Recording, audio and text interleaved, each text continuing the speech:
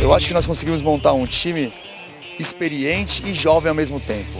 É um time veloz, um time que marca forte onde a gente possa conseguir fazer os contra-ataques. A expectativa é que a gente consiga a vaga para a primeira divisão do ano que vem do Campeonato Paulista e assim também a classificação para disputar a Copa Brasil. A gente está com um grupo forte, aí no papel talvez um dos favoritos ao título.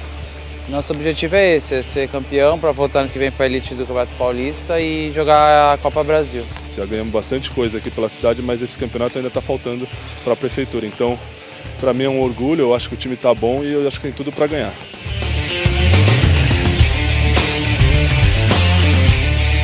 A FUPS quer ajudar o atleta a ter uma equipe multidisciplinar, então fechamos com a Unifesp, é, tanta fisioterapia de prevenções, com quatro médicos especialistas em ortopedia. Queremos dar para o atleta de Santos, para o atleta que representa a FUPS, a melhor estrutura possível. Eu gostaria de chamar a nossa torcida para todos os jogos, né? Quero dizer que nós vamos honrar essa camisa de Santos como nunca. E garanto que quem assistiu o primeiro jogo vai querer vir em todos os outros jogos. A torcida a nosso favor aqui pode sim fazer a diferença.